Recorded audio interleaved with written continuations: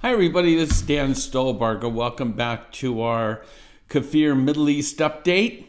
Um, these are longer for obvious reasons. As we look back over the last week, it's October 30th today. Uh, but just a reminder the PDF notes, there, there's 15 to 18 different slides. You're going to want to make sure you grab that. And you can get that on our website at holygroundexplorations.com, or it should just be a link on the YouTube page. Um, with that, let's jump in. We start with our news bites.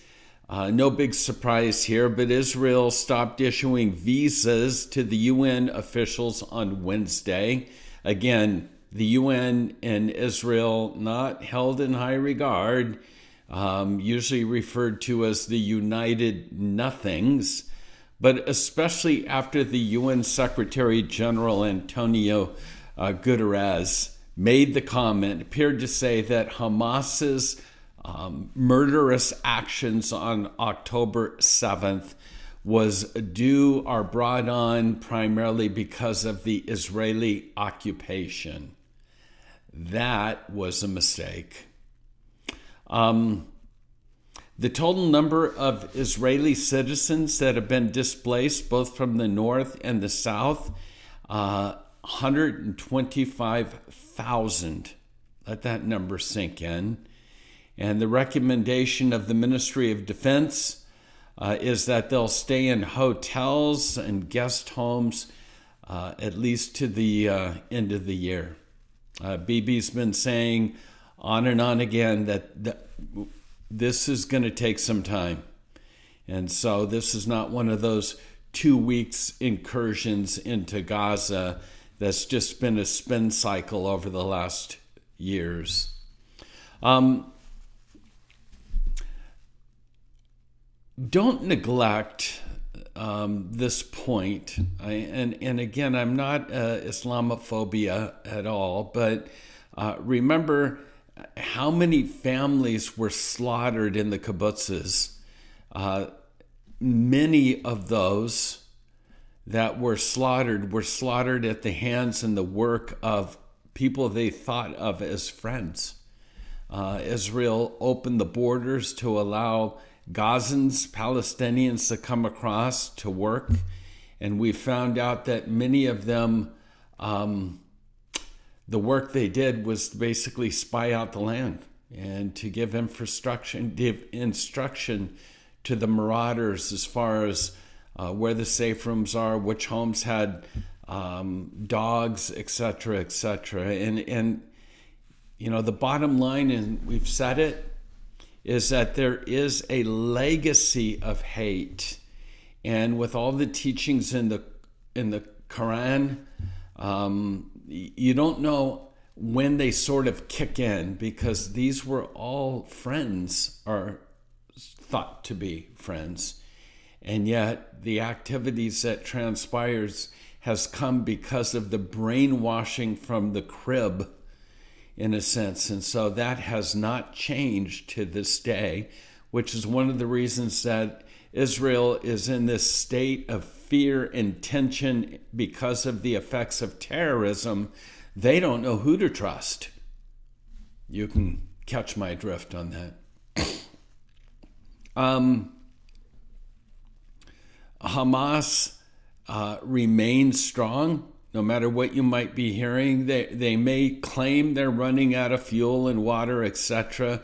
They're not running out of rockets and the amount of soldiers that are thought to be embedded in these terror structures are upwards to 30,000. So, um, empathy, support for Israel in this day and age and this day and time is dissipating, as you probably know. Uh, massive protests worldwide and that pendulum is swinging the other directions. But don't be fooled. Uh, don't let propaganda shape your uh, convictions as to what needs to be done. Uh, this evil that has taken place must, must be rooted out and pulled out by the roots. Hamas is ISIS and cannot exist anymore, or it will be an open door for, and I can't imagine it, but open door for something, events that will even be worse than what transpired on October 7th. Um, interestingly enough, this is still our news bites. Uh, Kamala Harris, our vice president, uh, told 60 Minutes last night that the uh, the U.S. will not send troops to Gaza or Israel. We, her quote, we have absolutely no intentions, nor do we have any plans to send combat troops into Israel or the Gaza period. Um, I'll just let that one go for now. All right.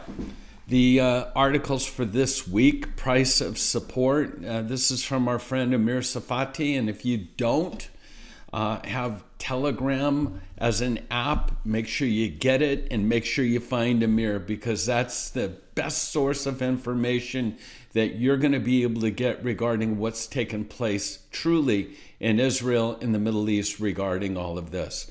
But he warns, and I think we need to hear this because, as I just mentioned, that pendulum swinging the other direction. Anti Semitism is on the rise and it's going to go even higher. And Christians who support Israel, there will be a cost to pay. You will be attacked as well. But our job, watchmen on the walls, are to speak out, to stand up, to educate, inform the world, and don't ever expect, however, in so doing, that you'll be loved or rewarded because there's a lot of evil out there. And there's a lot of demonic activity. And anti Semitism is insidious and will continue to rise because of the man of lawlessness that seems to be ruling behind the scenes even at this day. Um, Turkey, Erdogan. Uh, interesting that uh, we're fortunate because we had an amazing time in Turkey as we visited the western part of Turkey and we were at um, Izmir, which is Smyrna, and then from Izmir we went to Ephesus and then Pergamos, and like I said, had an amazing time. We left a few days between, before October 7th. And the bottom line is that the pendulum has radically swung. Uh, Turkey's military is one of the largest in the region. It's on par with Egypt and Iran. It's considered one of the top 15 militaries in the world, according to most military magazines. And Turkey's president, um, Erdogan, delivered a speech, and there were over 100,000 people in the, in, in the outdoor arenas. And he basically, it was an anti Israel rally in which he told the attendees that Israel was responsible for the war crimes, and he framed Hamas as so called freedom fighters. But he went even further than that. He suggested that Turkey may need to intervene into Gaza, saying, quote, Turkey can come at night unexpectedly and this was uh, to the crowd, it was uh, ecstatic reception of this news. Hundreds of thousands of attendees begin to chant, Turkish military into Gaza, Turkish military into Gaza. And needless to say, Turkey is one of the, the you know, the part of that coalition of Ezekiel 38 and 39. I don't think this is it at this point in time, but Bibi had just met a few months ago with Erdogan, and it seemed like they had patched things up, and Erdogan was actually coming to visit Israel. That ain't happening. Um, the deceit of Hamas, and, and again, we're dealing with propaganda, fake news, social media. Um, propaganda is an effective weapon, especially during war times. False flags, false information. Uh, the discerning ear needs to be wise in what they're hearing. You need to find those sources that you can rely on of truth. Um, the bottom line, please, it is a one plus one equals two scenario. There is no moral equivalence between what Hamas's behavior was on October 7th and Israel's military response. Uh, only the naive believe that promises made by evil men and really and, and uh, I don't even have words to express what's coming out with the horrific behaviors that took place. But to equate these two, and then even worse, to blame Israel and say it's because of you that you forced these people to become uh, demonic slaves and animalistic behaviors, it's ridiculous. And now we're facing that pendulum swinging on our campuses or whatever. But keep this in mind Hamas is now going to be sending scripted videos from those that have been abducted. Don't even for a moment think that these people are speaking freely. And of course, they're going to criticize Netanyahu and the government and plead for a ceasefire. It's coming, it will come in spades. It's propaganda. Don't fall for it. Israel must defeat Hamas, period. Um, again, we're seeing this movement that's now called Globalize the Intifada. Uh, for years, this has been the rallying cry on the fringes of college campuses and those that are sort of the furthest on the left.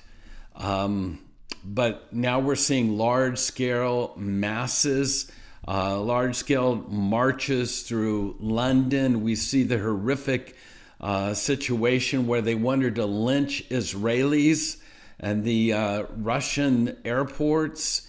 And again, Cornell University, top American educational institutes. Um, a Jewish dining hall was uh, put on lockdown because of threats, and Jewish students had to hide because of those death threats. This is what I'm talking about. This is what's going on. This is that pendulum radically swinging back the other direction. And then, cause for concern. Okay, we, we've reported over this the, the differences in age gaps and generations. Okay, those over 65 years of age with all of this that's going on, have sided with Israel. The percentages is like 95% to 5%. That's 65 and older. What the cause of concern is, is what does that percentage look like for the 18 to 24 year olds? The support for Israel over Hamas is by the thinnest of margins 52% to 48%. That's why they're such concerned. And then asked uh, the most basic facts about the controversy today, many of those young people fail the test.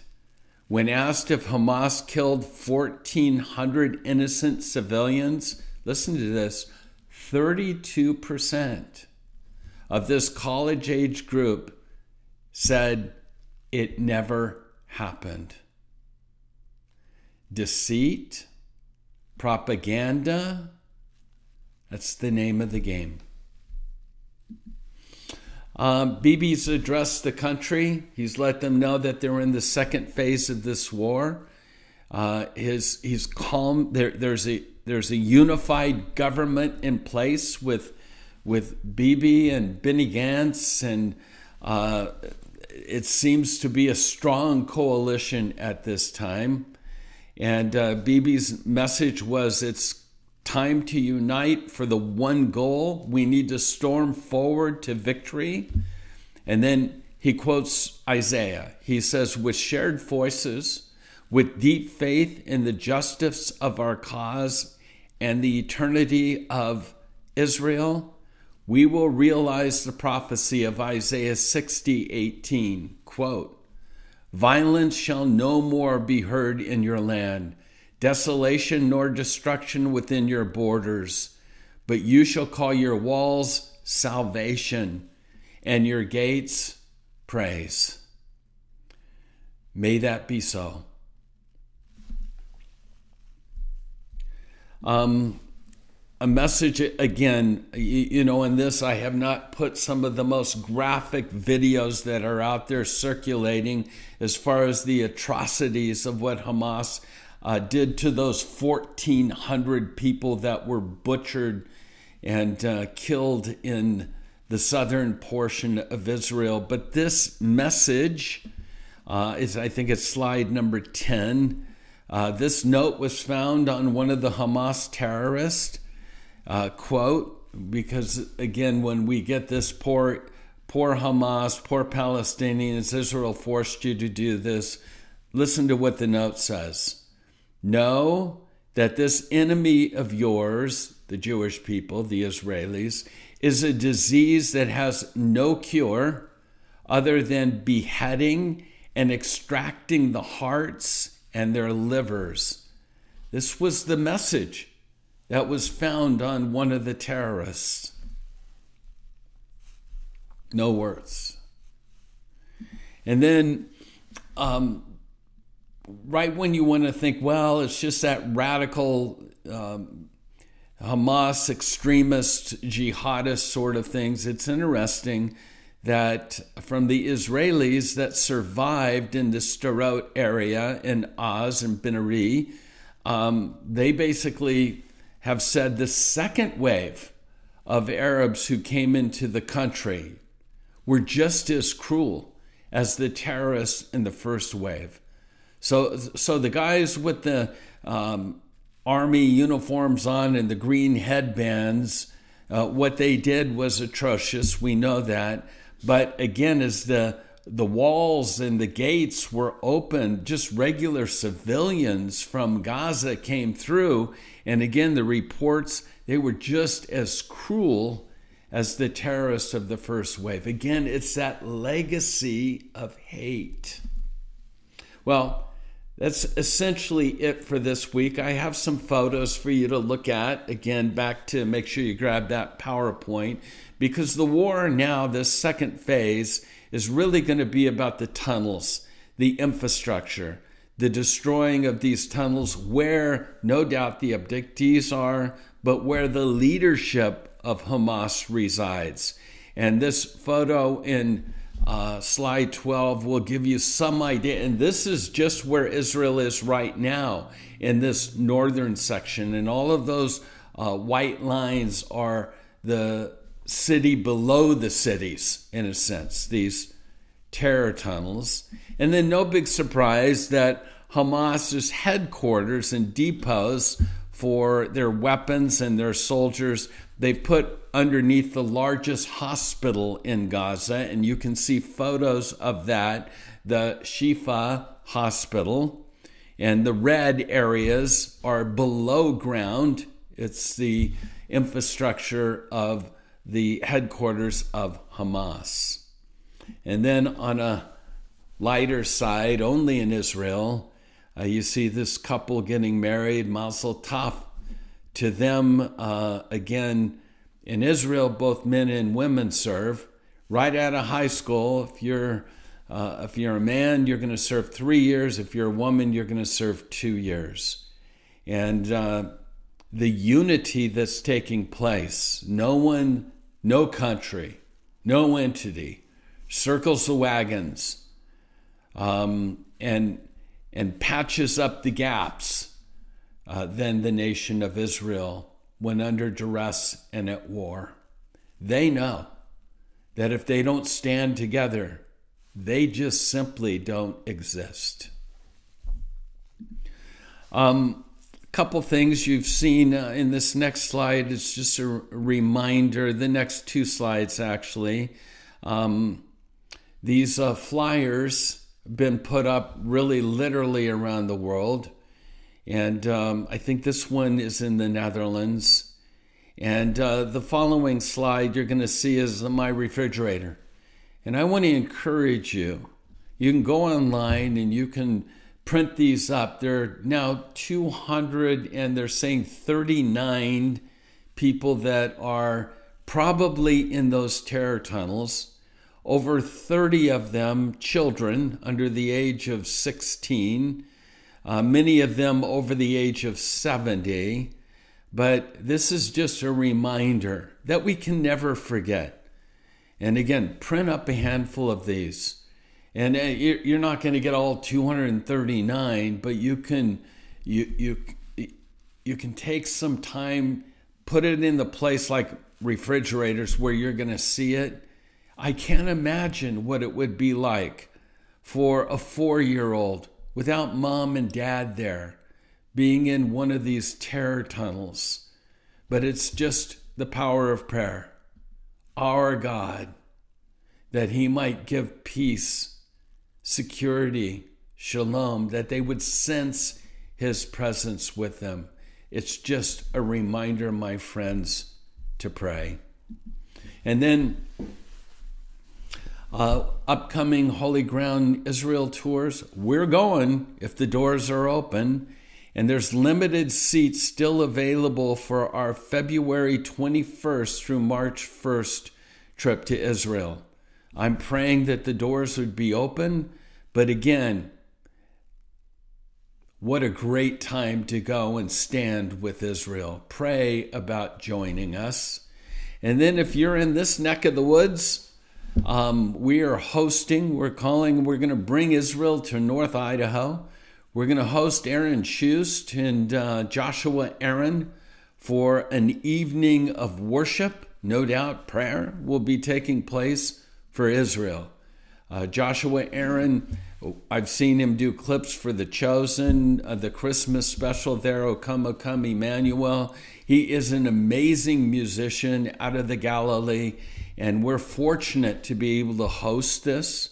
And so, if you're in our area, get your tickets. And if you just want to support this, um, please go to our website and make a contribution as we host this event. So, that's it for uh, this week. Uh, unless, again, I'm not necessarily just doing these on a weekly basis. As, as situations arise, we'll do more and more of these Middle East updates because I truly believe we need to find sources that we can find reliable in the age in which we're living. So I hope that would be holy ground for you as well. So God bless you. Shalom. And remember to pray for the peace of Jerusalem. Amen.